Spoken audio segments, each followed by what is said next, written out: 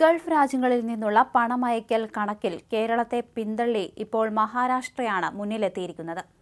ധനമന്ത്രി K N Balagopal നിയമസഭയിൽ അവതരിപ്പിച്ച സാമ്പത്തികാവലോകനത്തിന്റെ റിപ്പോർട്ടിലാണ് ഇക്കാര്യങ്ങളെല്ലാം വ്യക്തമാക്കുന്നത്. ഗൾഫിൽ നിന്ന് രാജ്യത്തേക്ക് എത്തുന്ന മൊത്തം പണവിഹിതത്തിന്റെ മുപ്പത്തഞ്ച് പോയിന്റ് രണ്ട് ശതമാനവും മഹാരാഷ്ട്രയിലേക്കാണ്. കേരളത്തിൽ പത്ത് പോയിന്റ് രണ്ട് ശതമാനവും. റിസർവ് ബാങ്കിന്റെ അഞ്ചാം റൗണ്ട് റിപ്പോർട്ടിലെ വിവരങ്ങൾ അടിസ്ഥാനപ്പെടുത്തിയാണ് സാമ്പത്തിക അവലോകന റിപ്പോർട്ടിലെ കണ്ടെത്തലുകൾ. വേതന വ്യത്യാസം അതുപോലെ തന്നെ വൈറ്റ് കോളർ കുടിയേറ്റ തൊഴിലാളികളുടെ വർധന മറ്റ് സംസ്ഥാനങ്ങളിൽ നിന്നും രാജ്യങ്ങളിൽ നിന്നും കുറഞ്ഞ വേതനമുള്ള അർദ്ധ വിദഗ്ധ തൊഴിലാളികളുടെ വരവ് എന്നിവയാണ് ഈ ഒരു മാറ്റത്തിന് കാരണമായി തന്നെ പറയപ്പെടുന്നത്.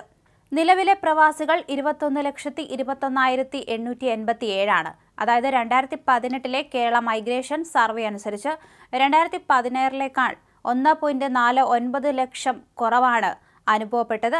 രണ്ടായിരത്തി പതിമൂന്നിൽ ഇരുപത്തിനാല് ലക്ഷമായിരുന്നു. ഏറ്റവും കുറവ് എറണാകുളം. തിരിച്ചു വന്നവർ പത്തൊമ്പത് പോയിന്റ് രണ്ട് അഞ്ച് ലക്ഷം.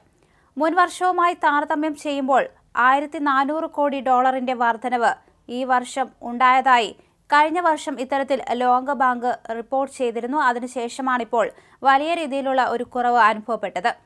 ഇന്ത്യയും യു എയും കഴിഞ്ഞ ഫെബ്രുവരിയിൽ അതായത് രണ്ടായിരത്തി ഇരുപത്തി മൂന്ന് ഫെബ്രുവരിയിൽ ഒപ്പുവെച്ച സ്വതന്ത്ര വ്യാപാര കരാറിലൂടെ ഇന്ത്യയിലേക്ക് കൂടുതൽ വിദേശ പണം ഒഴുകിയെത്തിയിരുന്നു. ഡോളറിന് പകരം രൂപയിലും ദർഹത്തിലും ഉഭയകക്ഷി വ്യാപാരം അനുവദിക്കുന്നതാണ് കരാർ.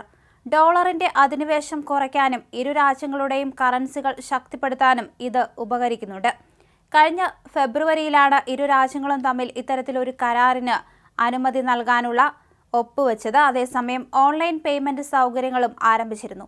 യു എക്ക് പിന്നാലെ സൗദി അറേബ്യയുമായും ഇന്ത്യ സമാനമായ വ്യാപാര കരാർ ഉണ്ടാക്കിയിരുന്നു. രൂപയിലും റിയാലിലും പരസ്പര ഇടപാടുകൾ ഇത് സാധ്യമാക്കുന്നുണ്ട്. പേയ്മെന്റ് സംവിധാനങ്ങൾ ബന്ധിപ്പിച്ചതും വിദേശത്തു നിന്ന് കൂടുതൽ പണം വരാൻ സഹായകമായി. ഇടപാടുകൾ എളുപ്പമായതോടെ ഔദ്യോഗിക ചാനൽ വഴിയുള്ള വിനിമയം വർദ്ധിച്ചു. അനൌദ്യോഗിക ഇടപാടുകൾ കുറയുകയും ചെയ്തു. അതേസമയം ഇന്ന് ആഗോളതലത്തിൽ പണപ്പെരുപ്പം വർദ്ധിക്കാനുള്ള സാധ്യതയുള്ളതിനാൽ തന്നെ വളരെ രീതിയിലാണ് ഇപ്പോൾ നേട്ടം കുറഞ്ഞിരിക്കുന്നത്.